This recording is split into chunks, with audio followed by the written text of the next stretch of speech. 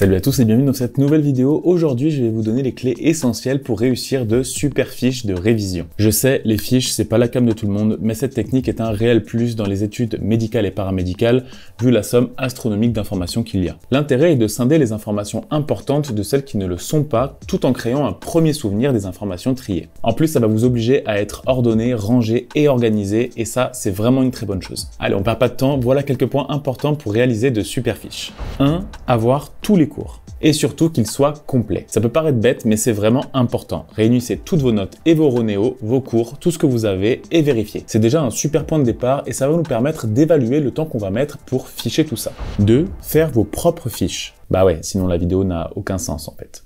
Ne copiez pas ou ne récupérez pas les fiches de quelqu'un d'autre, ça n'a aucun intérêt pour votre mémoire. Le fait de créer votre propre schéma de cours vous permet de réaliser une première mémorisation qui sera essentielle pour la suite. 3. Utilisez des abréviations, voire vos propres abréviations. Gain de temps, gain de place, les abréviations sont essentielles pour faire des fiches. Il y en a vraiment une infinité. Après, c'est comme tout, n'en abusez pas trop non plus, gardez des fiches lisibles. 4 filtrer les informations. Là est tout l'intérêt d'une fiche. Si vous recopiez mot pour mot votre cours, bah votre fiche, elle sert à rien. Prenez le temps de stabiloter, que ce soit en cours ou lors de votre première lecture, les éléments importants pour vous économiser, que ce soit du temps ou de l'énergie lorsque vous allez ficher. Par exemple, les définitions, les dates, les tuyaux du prof.